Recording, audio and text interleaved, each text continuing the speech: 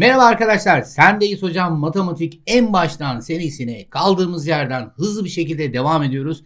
Geçen videoda neler işlemiştik? Sayı kümelerini öğrenmiştik ve artık bu sayı kümelerinin 4 işleme dökmeye geldi. Yani sıra geldi toplama ve çıkarmaya. Sevgili arkadaşlar, toplama çıkarmanın tüm özelliklerini öğreneceğiz. Nerelerde kullanacağız, nasıl yapacağız ve arkasında da bol örnekli sorularla konumuza devam edeceğiz ve bu noktayı koyacağız ama hızlı bir şekilde en baştan serisine devam ediyoruz. Ta ki nereye kadar ne zaman bir TYT kitabı aldığımızda, soruları okuduğumuzda evet ben bu soruyu anlıyorum dediğimiz takdirde bu iş tamamdır. Hemen isterseniz derse geçiş yapalım arkadaşlar. Geldik toplama çıkarmaya. İşte bize ilk öğretimden beri öğretilen bir yerdir toplama çıkarma. Sevgili arkadaşlar ben size bir tablo yaptım. Bu tabloda toplama çıkarmanın özellikleri yani ne zaman toplayacağım ne zaman çıkaracağım bunu vereceğim ve şu tabloyu öğrenin bakın ezberlemeyin öğrenin Ondan sonra zaten toplama çıkarma işi hikaye. Çok çok basit. Öncelikle toplama tablosu dedim ama altına bir tane çıkarma koydum. Bu şu anlama geliyor arkadaşlar. Bütün toplama çıkarmaları burada kullanacaksınız tek tabloda. Şimdi nasıl yapıyorum hemen bakalım. Şimdi karşıma benim bir toplama ya da çıkarma işlemi geldiğinde ben önce işaretine bakarım. İşaretine bakıyorum hemen. İşaret neydi? Artı eksi artı eksi. Sakın pozitif negatif deme. Geldim şuraya. Eğer benim işaretlerim aynı mı farklı mı? Yani iki tane seçeneğim var. Ya işaretler aynı olacak. Sayıların nerede bulunuyordu işaretler? Sayının önünde bulunuyordu. Neden önünde bulunuyor biliyor musunuz arkadaşlar? Bakın siz hiç şöyle bir mesela diyorsunuz doktor işte Ahmet Yalçın ünvan önünde. Siz hiç şöyle bir ünvan gördünüz mü? Ahmet Yalçın Doktor. Ünvanlar önde bulunur. İşte bizde de matematikte işaretler sayının önünde bulunur diyorum ve hemen bunu siliyorum. Örneğime tekrar dönüyorum. Şimdi önce ben neye bakacağım arkadaşlar? Unutma. Önce işarete bakıyorum.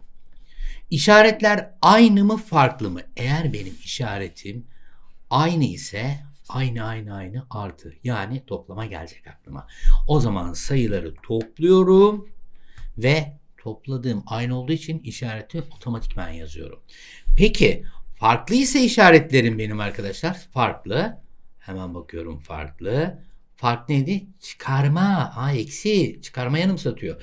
O zaman hemen sayılarımı çıkartıyorum ve işaretsiz yani işaretsiz bakacağım sayılarıma. Biz buna mutlakça diyoruz arkadaşlar.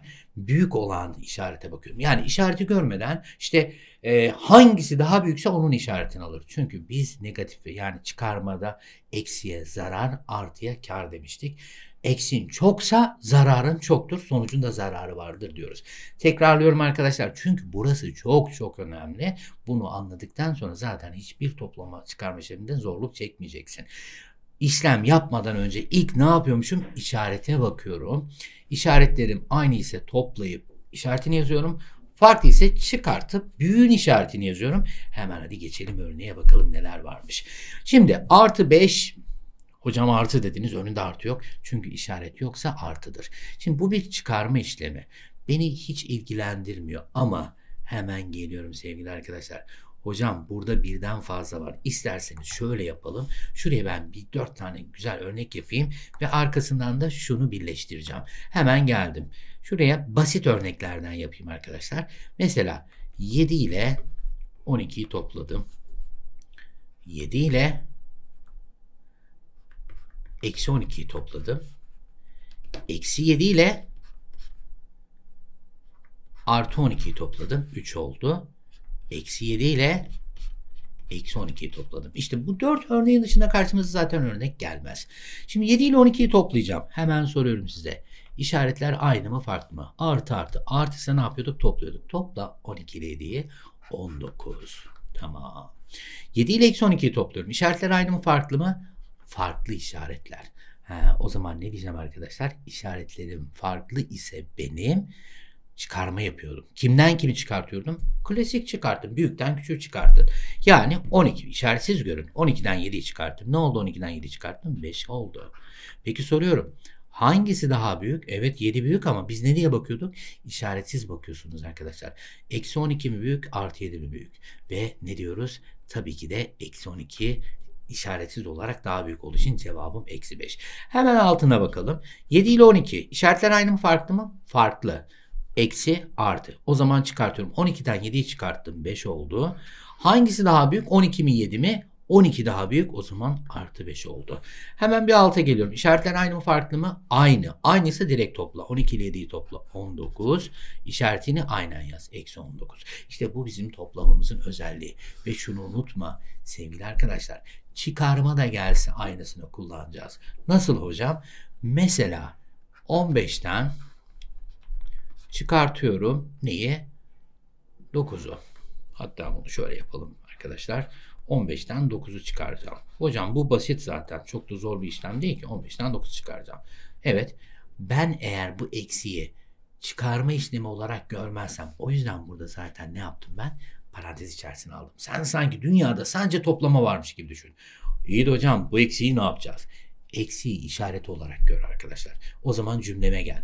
Normal şartlarda ben 15'ten 9'u çıkarttığımda 6 basit ama 9'dan 15'i çıkarttığında işte öğrencimiz burada karıştırıyor. O 9'dan 15 çıkmaz ki hocam diyor. Eksi artı yani tam sayıları öğrenen öğrencilerim de şunu diyor. Olur mu? Çıkarma işareti eksi olur. Ama sen şu şekilde düşünürsen bu işareti yani bu çıkarma işlemini 9'un işareti olarak düşünürsen o zaman işaretler biri artı biri eksi. Ne yapıyorduk artı eksi de klasik çıkarma. Büyükten küçüğü çıkartıyorsun. 15'ten 9 çıkarttın 6. Peki buna bakıyorum. Eksi işareti olarak düşündüm. Eksi. He, bir farklı bir aynı. O zaman işaretler farklıdır. Biri artı biri e, eksi. O zaman ne diyeceğim arkadaşlar? Çıkarma yapıyorum. 15'ten 9'u çıkardım. 6 kaldı. Ama ne diyorduk? Büyüğün. İşaretsizce büyüğün. Yani eksi 15'in işaretini alıyor. Eksi 6 diyoruz. Ve bir önceki verdiğim örnek var ya arkadaşlar bakın burası. İki sayının işareti yan yana geldiğinde tek teke çeviriyoruz. O zaman ben artık bundan sonra karşıma hangi soru gelirse gelsin. ister çıkarma gelsin, ister toplama gelsin tek işarete dönüştürebiliyorum. E dönüştürebiliyorsam da bu kuralı kullanarak işlemi yapabiliyorum. Hemen geçtim şimdi örneğimize. Şimdi daha iyi oturur çünkü birazdan bazı örnekleri vermem gerekiyordu. Şimdi toplama ve çıkarma işlerinde iki işaret yan yana gelen sorularda. Gelmiş burası gelsin. Ne yapıyorduk arkadaşlar işaretleri? Ne yapacaktık? Muhakkak tek işareti çeviriyorum. O zaman burası 5, Eksi ile artı aynı mı farklı mı? Farklı. Farklıysa eksi 3. Şimdi artık yap. Çıkarma işlemi bu. 5'ten 3 çıktı 2 ya da klasik işlemde e, birinin işareti artı birinin eksi. E, klasik çıkarma yaparım. Büyün işaretini alırım. Artı 2 demek. Hemen buna bakalım arkadaşlar. Eksi 7. İki tane işaret yan yana gelmiş hocam. Ne yapacağız? Teke çevireceksin. İşaretler aynı mı farklı mı? Aynı. O zaman artı 5 diyorum. İşaretler farklı mı ayrı mı? Çünkü artık toplama işlemini yapacağım. Zaten hep toplama çıkarma işlemi yapıyorum. 5 ile 7 farklı işaretler. 7'den 5'i çıkardım 2. Büyük olan hangisi? Eksi. Hemen altındakine geçelim. Yine iki tane işaret. Gelsin hiç önemli değil arkadaşlar. Eksi 9. Eksi ile artı yan yana geldi. Eksi oldu. Eksi 4. İşaretler aynı farklı mı? İşte burada aynı. O zaman topların 9'a 4'ü 13. Ve işareti aynen yazarım. Eksi 13. Bir alttaki soru Yine toplama iki işaret yan yana gelmiş ama e, biz bunu teke çevirelim daha kolay olur. Yoksa şöyle de hocam ben toplamanın kuralını biliyorum. Aynıysa topla farklıysa çıkart. Ama biz yine garantiye alalım. İşareti teke çevirelim. Eksi 6, eksi 3. İşaretler aynı farklı mı? Aynı hocam. O zaman aynıysa topla gitsin. O zaman ne yapıyorum? 9 ve önüne bir eksi koyuyorum. Ve son örneğimiz artı ile artı hiç önemli değil. Tek işarete çevirdim. Artı 8. İşaretler aynı mı farklı mı? Farklı hocam. O zaman büyükten küçüğü çıkart 3. Hangisi büyük? 8 mi 5 mi? Bakın hep işaretsiz okuyorum. 8 daha büyük o zaman artı 3 diyorum. İşlem bu kadar basit arkadaşlar. Gelelim şuna. Sorularda parantez. Biz buna e, gergin parantez diyebiliriz. Buna e, yuvarlak parantez diyebiliriz. Bir de köşeli parantezimiz var. Kullanılırsa önce unutma, önce parantez içi yapılır. Yani parantezin içindeki işlemi yap ki sonra parantezi kaldır. Parantez niye var? Basit düşün arkadaşım. Ev örneğine. E, evde odalar var. E, odaları kim ayırıyor? Duvarlar ayırıyor. İşte parantez de işlemlerin duvarıdır. E, parantez olmasa ne olur? E ne olur? Salon da aynı yerde olur. Yemek odası da aynı yerde olur. E olmaz. O yüzden odalar ayrılıyorsa işlemde de parantezle ayırıyoruz. Daha doğrusu işaretleri karıştırmamak için parantez ayırıyoruz. Ve ne işlem yapıyormuşuz? Karşımıza bizim parantez gelirse ilk için parantezleri yapmak. O zaman hemen geliyorum arkadaşlar. Eksi 5 sırayla yazıyorsunuz ve matematikte düzenli yazmak çok çok önemlidir. Eksi 5'i yazdım. Sonra bakın bir parantez geldi. İlk önce ne yapacaktım? Parantez içindeki işlemleri yapacağım. O yüzden parantezimi kaldırmadan şu işlemleri yapacağım. Neler var elimde benim? Hocam yine bir sürü işaretler yan yana gelmiş. Boş ver. Te, çevir tek işarete. Eksi 3. Söyleyin bakalım. Eksi ile eksi. iki işaret yan yana geldi. Aynı işaret. Artı 7 oldu. Hala parantezi kapattım. Kullanıyorum çünkü ayırmam lazım. Devam ediyorum arkadaşlar. Eksi 5. Şimdi iş, parantezin içini yapacağım. Eksi 3 değildi. İşaretler farklı. Ne yapıyorduk farklı? Çıkart. O zaman 7'den 3'ü çıkarttım. 4. Büyün işaretini aldım. Artı 4. Artı artı 4. Bakın parantezim köşeliden şeye döndü. Daha yuvarlığa döndü. Köşeli de yapabilirsin ama köşeli parantezler daha çok birden fazla işlem için kullanılır. Şimdi buraya bakıyorum. İşaretlerim yine artı artı var. O zaman önce bunu hemen hızlıca çevireyim. Eksi artı artı artı yaptı. Artı 4. İşaretler aynı mı farklı mı? Farklı işaret. Farklı işareti ne yapıyordum? Çıkartıyordum. 1 ve ne yapıyoruz arkadaşlar? Büyün işaretini alıyoruz. Hemen geldik diğer örneğe. Bakın bu sefer iki tane parantez verdi. Versin. Önce ben parantez işlerini halledeceğim. Ne yapıyorum arkadaşlar? Bakın parantezimi açtım. Burada önce hatta şuraya yapalım. Şunu silelim. Eksi 8. iki tane şart yan yana geldi bakın şurada. Eksi ile eksi artı 3. Kapattım parantezimi. Artı devam ediyorum. 9. Bakın burada da iki tane işaret yan yana geldi. Eksi ile eksi artı 5. Kapattım parantezimi. Şimdi parantezlerini halledeceğim. Devam ediyorum. Eksi 8 artı 3 daha. İşaretler aynı farklı mı? Farklı. Çıkart. 8'den 3 çıktı. 5 kaldı. Büyün işareti eksi. 9 ile 5. İşaretler farklı mı aynı mı? Aynı. Topladım. 14 yaptı. Ve işaretimiz de aynı işareti kullanıyorum 14. Şimdi bu işlemi yapıyorum. İşaretler aynı mı farklı mı? Farklı. 14'ten 5'i çıkardım 9. Büyük olan hangisi? 14. 14'ün işareti ne? Artı diyorum ve işlemi bitirmiş oluyoruz. Kolaymış değil mi arkadaşlar? Şimdi geldik şu soruya. Eksi 15 ile bakın birer cümle kullanmış. Kullansın. Eksi 15 ile eksi 5 işleminin sonucu A. Eksi 8 ile eksi eksi 10 işleminin sonucu B olduğuna göre A artı B işleminin sonucu kaçtır diyor. Allah Allah. A neymiş? Eksi 5 ile eksi 15. O zaman ben A eşittir. Eksi 15 artı eksi 5 dedim. Ve devam ediyorum. A. İşaretlerin bakın içinde iki tane işaret var. Birleştir bunu tek işarete çevir. Ondan sonrası kolaydır zaten. Eksi 15 artı ile eksi eksi 5 yapar. Devam ediyorum hala A'yı bulamadım. İşaretler aynı farklı mı? Aynı. Aynıysa topla işaretini yaz. 15 5 daha 20 ve işaretim de eksi. Bu elimde. Bu cepte arkadaşlar. E geldim B'ye. Ne diyor? B sayısı da onu da siyahla yazalım. B sayısı da eksi 8 ile eksi eksi 10'un toplamı. O zaman tek işareti çeviriyorum. Eksi 8, eksi eksi artı 10 yapar. İşaretler aynı mı farklı mı arkadaşlar? Bakıyorum farklı. O zaman büyükten küçüğü çıkart. Yani 10'dan 8 çıkarttım 2. Büyüğün işaretini aldım artı. Benden neyi soruyor? Olduğuna göre diyor bakın A artı B işleminin sonucu nedir? O zaman hemen A artı B işlemini yazıyorum. A artı B. A'yı eksi 20 buldum artı B'yi de artı 2 buldum.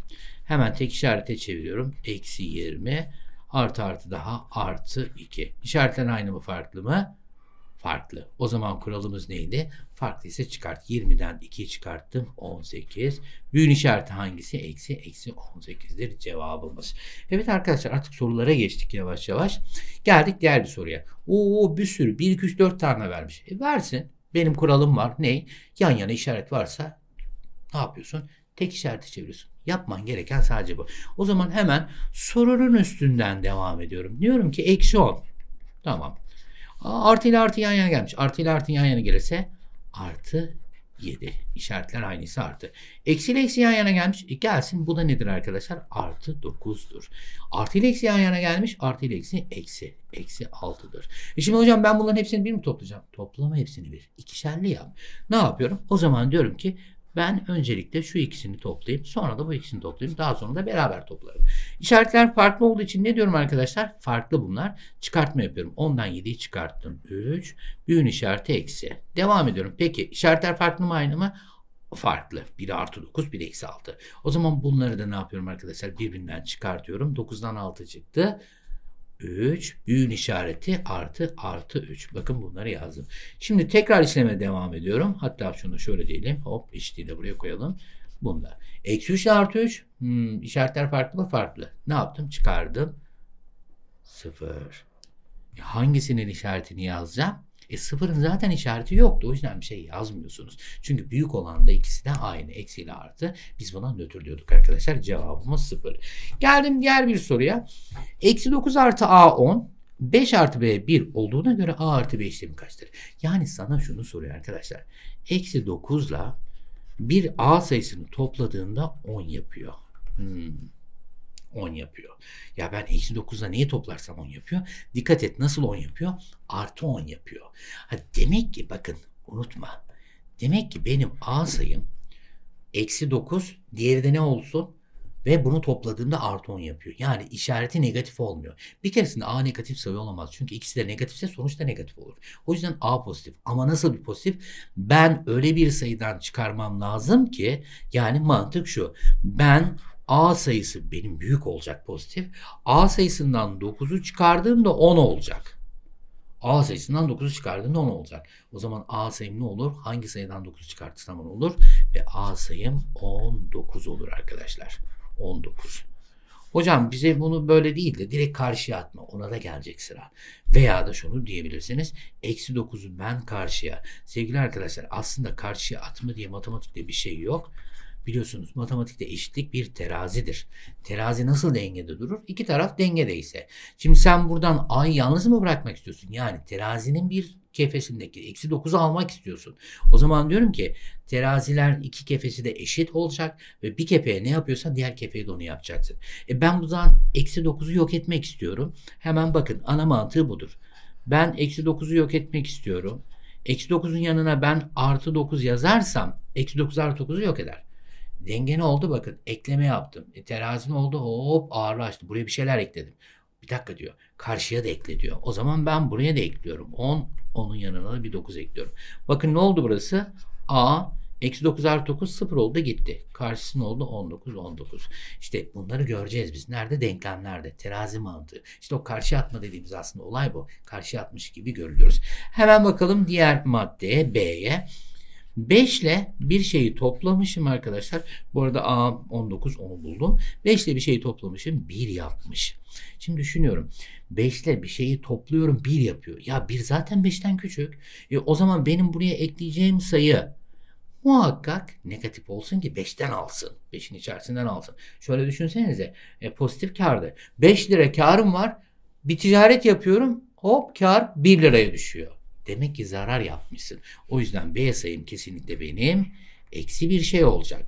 Ama nasıl eksi bir şey olacak? 5'ten hangi sayıyı alırsam eksi olur? Bakın aldım. Aldığım sayı ne oldu? 4 oldu. O zaman burası da eksi 4 oldu arkadaşlar. B sayım da eksi 4. Bunu da cebe koydum. Benden ne istiyor? A artı B istiyor. O halde A artı B A'yı 19 buldum. B'yi de eksi 4 buldum. İşareti tek işarete çeviriyorum. Şimdilik bunlar belki size sıkıcı gelebilir. İşaretleri tek işaret çeviriyorum ama öğrenin arkadaşlar. Sonra hızlı hızlı zaten kolay yollarını vereceğiz. Artı ile eksi, eksi 4. Nedir bu? Bir çıkarma işlemidir. 19'dan 4 çıktı. 15 kaldı. Büyün işareti artı. O zaman cevabımız artı 15 diyoruz. Peki bunu karşıya atsak nasıl yapardık hocam? Hemen onu da verelim. Şimdi benim terazimin sağ kefesinde 5 artı B var. Yani B artı 5 var. E, sol kefesinde de 1 var. Benim amacım kefedeki 5'i kaldırmak. Çünkü B yalnız kalsın istiyorum. O zaman diyorum ki ben kefedeki 5'i kaldıracaksam B artı 5'in Sol kefeye eksi 5 yazıyorum. Çünkü 5'i 5 yok eder. Eksi 5 yok eder zıttı. Sol kefeye 5 yazdığım için sağ kefeye de 5 yazmak zorundayım. Ve böylelikle bakın ne oldu arkadaşlar? Bu arkadaş bu arkadaşı götürdü. Burada ne kaldı? B kaldı sadece. 1 ile eksi 5 işaretler farklı. Çıkartıyorum 4. Büyün işareti ne oluyor? Eksi olarak geliyor. Çünkü büyük eksi 5. O zaman eksi 5'in işaretini. Böyle de çözebilirsiniz. Kullanabilirsiniz. Geldim hemen diğer bir soruya. Yine bir 3-4 tane işlem var. Hiç önemli değil.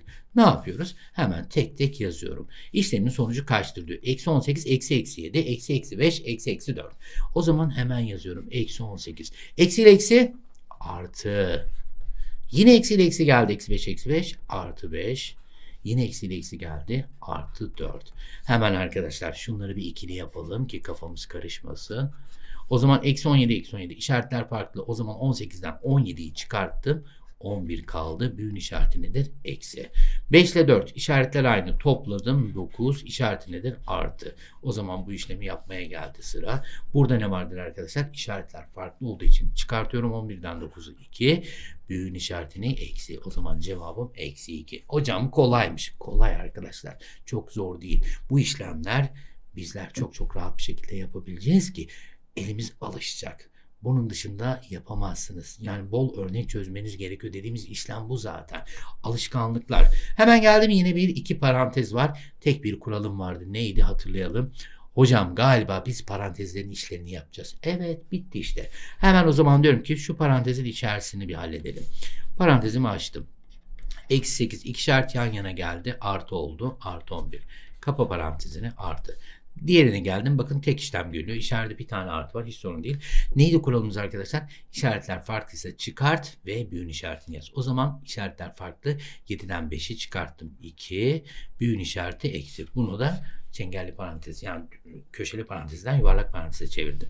Hemen şunu yapalım. Eksi 8 ile 11 işaretler farklı. 11'den 8'i çıkarttım. 3 artı eksi 2. Neydi arkadaşlar? Hemen ne yapıyorum? 3 artı eksi 2 tek işareti çeviriyorum. 3 eksi 2. 3'ten 2 çıkarttım. 1. İşlemin sonucu 1'dir. Ve geldik diğer bir soruya. Bu sefer parantezin içinde 3 tane var. Hiç sorun değil hocam. Artık ana mantığı öğrendik mi? Öğrendik. Gerisi de kolay. O zaman şu üçlülerde ne yapacağım? Hemen bu üçlüyü çözeceğim. Önce bir tek işareti bir çevirelim hocam. Eksi 9. Sıkıntı yok. Artı 5. Sıkıntı yok. Eksi ile eksi artı oldu. Artı 8. Kapa parantezi. Devam ediyorum. O 3 tane varmış burada. Artı eksi. Açtım parantezi köşeliği. Eksi 8. Artı eksi. Eksi 3 oldu. Kapa parantezi. Devam ediyorum. Hocam işimiz hep bu mu parantez açıp kapatmak? Vallahi öyle. Matematiğin başında böyle ama yeri gelecek bunu sular seller gibi tık tık tık hızlı hızlı çözeceksiniz. O zaman 9 eksi eksi artı 1 kapattım parantezi. Şimdi 3 işlemi toplayabiliriz arkadaşlar. İşaretler neyi burada bakın. Hemen bakalım. Neyi burada? İşaretler farklı. Eksi 9 ile 5 topluyorum. Eksi 9 ile 5 parantezimi açtım. İşaretler farklı olduğu için çıkarma yapıyorum. Çıkarma 9'dan 5 çıktı. 4 kaldı. Büyün işareti eksi. Eksi 4. Artı 8. Kapadım parantezi. Artı. Eksi 8 eksi 3 işaretleri aynı. Neydi işaretler aynısı? Topla. 8 ile 3 topladım. 11. İşareti nedir arkadaşlar? Eksi. Eksi 11. Devam ediyorum. 9 ile 1 topladım. 10. Ya artı 10. Zaten önde de artı var. Direkt 10 yazabilirim. Ya da biz baştan alıyoruz ya. Pardon. Baştan alıyoruz ya. Ben yine öyle yazayım. Artı 10 yazayım. Artı 10. Şimdi 4, 8 işaretler farklı. Topladım mı çıkarttım mı? Farklı olunca çıkartıyoruz iki sayıyı. 8'den 4 çıktı. 4 kaldı. Büyün işareti artı. Bunu yazdım. Artı ile eksi arkadaşlar eksi 11 olur. Artı ile artı artı 10 olur. Şimdi bu iki işlemi topluyorum. Bakın hemen ne yapıyorum? Şu ikisini topluyorum. Artı 4 eksi 11 işaretler aynı mı farklı mı? Hocam bunlar farklı. O zaman 11'den 4'ü çıkardım. 7 kaldı. Önünde eksi var ve artı 10. Devam ediyorum bu işleme. İşaretler yine farklı. 10'dan 7'yi çıkardım 3. Büyün işareti ne? Artı. O zaman cevabım artı 3'tür arkadaşlar. Sırayla giderseniz karıştırma imkanınız olmaz. Ve düzen size her zaman lazım arkadaşlar. Özellikle TET ve AYT sınavlarında düzgün yazmanız gerekiyor işlemleri. Hemen geldik diğer bir soruya. A sayısı 21 eksi 10 artı e, şu artı burada olacak. Artı 22. Evet şunu hemen şöyle alalım arkadaşlar. Şu artıyı o şöyle alırsak olay biter. Şu yok. Artı 22 artı 11. B sayısı eksi 43 artı eksi 5 eksi eksi 42. Hocam çok fazla sayı var. Bazen de bazı şeyi kullanmanız lazım. Çok sayı var da hangi sayılarım var? Bakın arkadaşlar nelerim var? Bir yazalım şunu. A sayım kaç? 21. eksi 10 artı 22. Evet bir de ne var? Artı 11 var. Peki B sayım nedir benim? Eksi 43 artı eksi eksi 5 hemen buraya gelelim. Eksi eksi 42 ve eksi eksi 6. Şimdi sevgili arkadaşlar benim ilk amacım o artı eksileri tek haneye çevirmek değil mi? Hadi şurada çevirelim karşısında. 21'i yazdım. Artı eksi eksi 10. Bunu da yazdım. Eksi artı eksi 22 artı 11. Bunu yazdık. Hemen diğerine geliyorum bakın. Eksi 43 yazdım. Eksi 43. Artı eksi eksi 5. Bunu da yazdık. Eksi eksi artı 42. Bunu da yazdık. Eksi eksi artı. Şimdi bazen e, uyanık olmak lazım arkadaşlar. Bütün sayıları tek tek toplamak yerine. Ben şöyle yapsam dikkat edin. Ben 21 ile 22 işleme soksam. Çünkü bunlar çok yakın sayılar. Aa hocam sanki olur gibi. Hemen yazıyorum A sayım. Kimle kim işleme soktu? 21 ile 22. İşaretlerine bak nedir işaretleri? 1 artı 1 eksi. Hmm. O zaman söylüyorum size. Bunun 1 artı 1 eksi ise çıkarma yapacağım. 22'den 21'i çıkardım. 1 kaldı. Büyün işareti ne? Eksi. Bakın hiç uğraşmadım. Geldim şuna. Diğerine. Diğer sayım kaç arkadaşlar? Diğer sayım kaç? Benim 10. Eksi 10'la da bakın artı 11 işleme sokarım. Bu ikiliyi de almış olurum. O zaman onu da şöyle yapalım. Hatta şurayı karıştırmayalım. Şöyle siyahla. Bununla da bunu bir işleme soktum. İşaretler farklı mı? Farklı. Biri artı, biri eksi çıkartma yapıyorum. Ve ne diyorum? 11'den 10 çıktı. 1 kaldı. Büyük artı o zaman artı 1. Bakın A'yı buldum. A'mız kaçtır arkadaşlar buradan? 0. Hemen eşittir 0'ı yazdım. Şimdi B'yi bulalım. Hadi bunu beraber bulalım. Hangi sayıyla hangi sayıyı devreye sokalım? Hocam 43 var burada. Burada da 42 var. Hmm. İşaretleri ne arkadaşlar bunun? 1 artı 1 eksi. O zaman ne yapıyorum? Büyükten küçüğü çıkartıyorum. 43'ten 42 çıktı. 1 kaldı. Büyüğün işareti eksi çünkü eksi 43. Yine bir tane işlemim var. Neyle ne? 5 ile eksi 6. O zaman hemen diyorum ki 5 ile de neyi kullanacağım? 6'yı kullanacağım. O zaman bu nedir arkadaşlar? Onu da şöyle yapalım. İşaretler farklı olduğu için 6'dan 5'i çıkarttım 1. Büyün işareti artı. Hop bu da 0 oldu. Olduğuna göre A artı B nedir diyor. A artı B de eşittir 0 artı 0'dan 0 olur. Çünkü sevgili arkadaşlar bazen soruya böyle bakacaksın. Aa ben burada bir şey gördüm. İşte o gördüğün şey seni götürecek. Yoksa uğraşırsın uzun uzun. Hemen geldim son sorumuza sevgili arkadaşlar. Ve bu soru TYT'de gelmiş bir soru.